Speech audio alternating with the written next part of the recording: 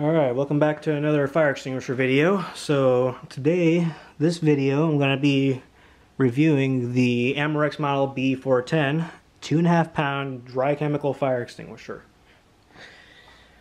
So as you can see right away, this is a BC rated fire extinguisher. But this is a Purple K. This is not a sodium bicarb or monoammonium phosphate ABC type fire extinguisher. So this this is a special kind of extinguisher. Uses a potassium bicarbonate base. And this can be commonly be found in places, this type of fire extinguisher can commonly be found in places where there's going to be a lot of flammable liquids.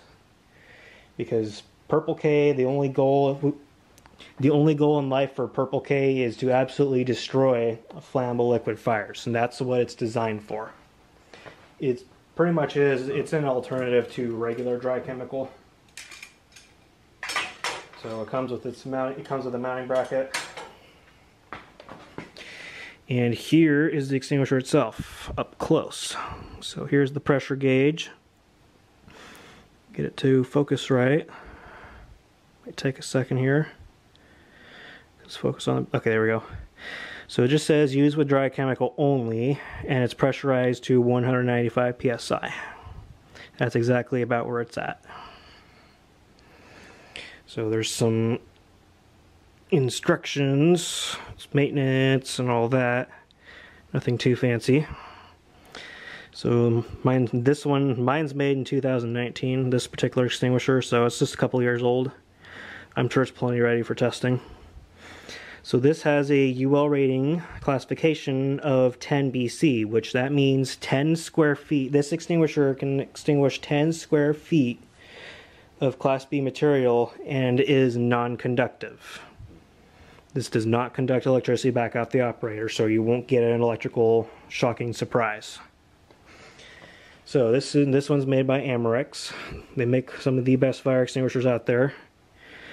The thing I absolutely love about it there's literally no plastic on here. The only plastic that's on here is the tamper seal. That's it. And then the the pin holder is actually made of nylon. But otherwise, the only plastic that's ever found on one of these is the oops the tamper seal. Sorry, I didn't mean to bump you guys. Okay. So, so a rating of 10B so 10 square feet of fire. Gonna compare it, kind of, I'm just gonna compare it to another clone. This is the ABC version. Literally the exact same extinguisher, same resemblance. They're all related. But this one, since this is monoammonium phosphate, it can tackle Class A. It's one and a quarter gallons of water equivalent for tackling A fires. But again, it tackles the same B rating, so it, it this can do 10 square feet of fire as well. so Amerex also makes this size extinguisher in regular dry chemical with the sodium bicarb, which has a UL rating of 10 BC. I don't have one of those to compare it to, but you get the idea. These particular two and a half pound extinguishers put out class, they can put out 10 square feet of class B. It's all literally the same given that they're at the right pressure. as long as they're within the operating pressure like this, they will work. Alright, so I've always been wondering, I always wondered how well Purple K does on a fire, so I will be going out and testing this out. So it does, from what I've heard, Purple K is a little bit more expensive, and I'm sure it can be because it's it's a different kind of a, it's not your typical go-to agent for most applications. But if you're if you're in an industrial environment and you're dealing with a lot of class B materials and you're looking for something besides sodium bicarb or if you're looking for something besides monoammonium phosphate, Purple K is the way to go. They make this in the two and a half pound, like what I've got here. They make this in a five pound unit, and they also make this in the big 20 pound. And I have the feel, I from what I've seen, there are different versions of it. There's a high flow, fast flow models. So there's there's more of them. So it's not just only select few of these. So, and as I just literally said, I threw myself off, I'm going to take this out and we're going to test this on a Class B rated fire. So, be right back. Alright, we're all set up outside. So, let me go ahead and give the explanation. So off to the left, right about there, I got four pans, just four aluminum foil pans with a little bit of gasoline in them. So I'm going to light all four of them, let the fire burn for a little bit, and then I will attempt to extinguish the fire with the extinguisher. So off to the very right, that's the extinguisher. I'm going to start I'm going to start off from that distance and I will walk my way closer to the fire. So, that being said, it's time for the test. Because I take because I take safety very seriously, I have a fully charged 5 pound ABC rated dry chemical fire extinguisher at the ready. So if anything if anything goes horribly wrong, I'm gonna come get it. So I'm gonna go ahead and get the fire going and I will also to make this video a little bit better I'm going to while I'm extinguishing the fire I'm going to record with from my phone. So I'll give you guys a, a view of what it's like standing behind the extinguisher as it's going off. Alright let me get the fire get that fire going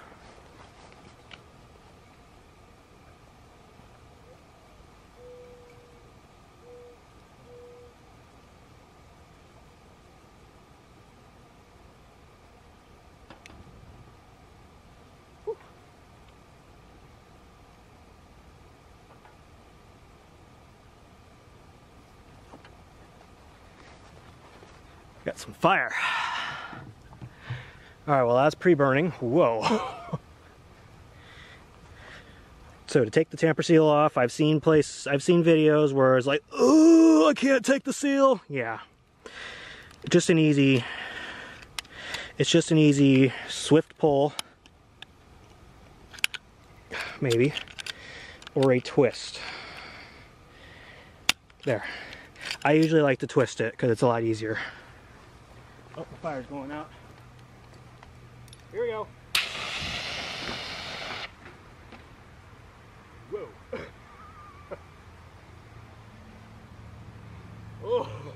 oh.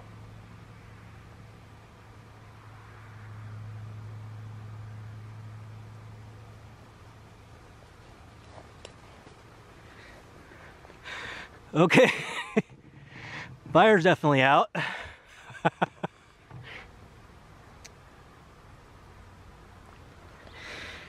Yeah, I didn't do too bad. That's what's left over. Okay, I think I stood just a little bit too close to it. Look at the sky.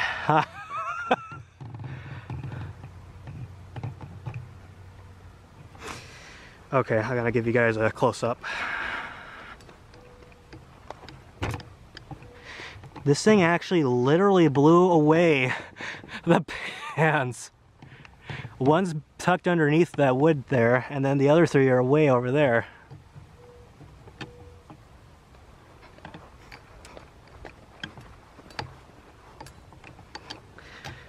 Wow.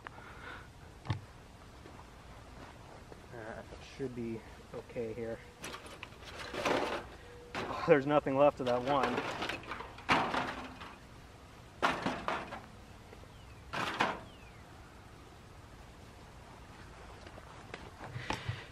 Yeah, that's that's the aftermath right there.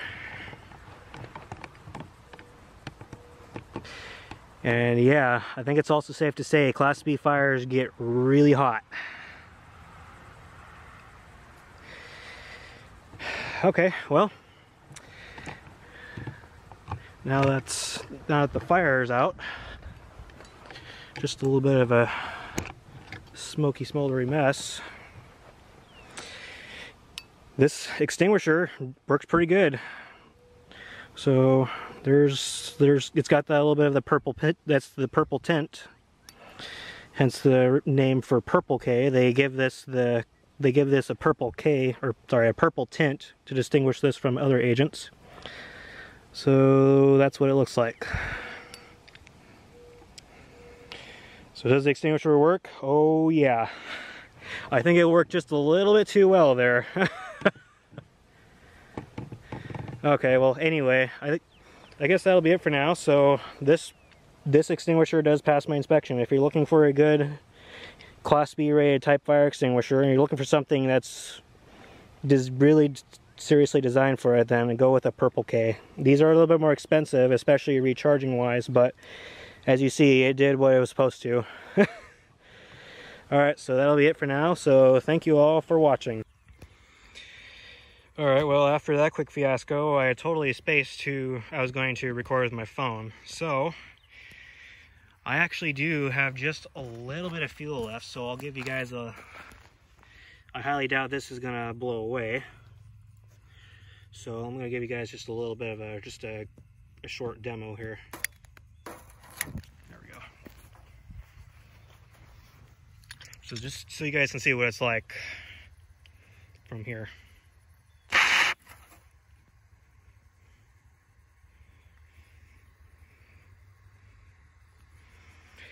Yeah, these things are messy.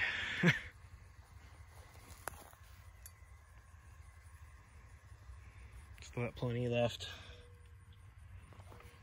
How about one more? I think it'll light one more time just for just for good measure.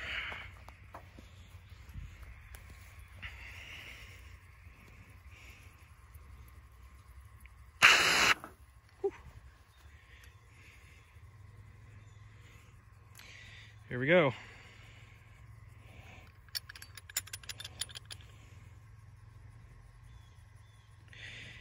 Yeah, these things, and that's also the importance why you're supposed to stand back the set on the instructions. So on the instructions, that's the reason why you're supposed to stand back so far.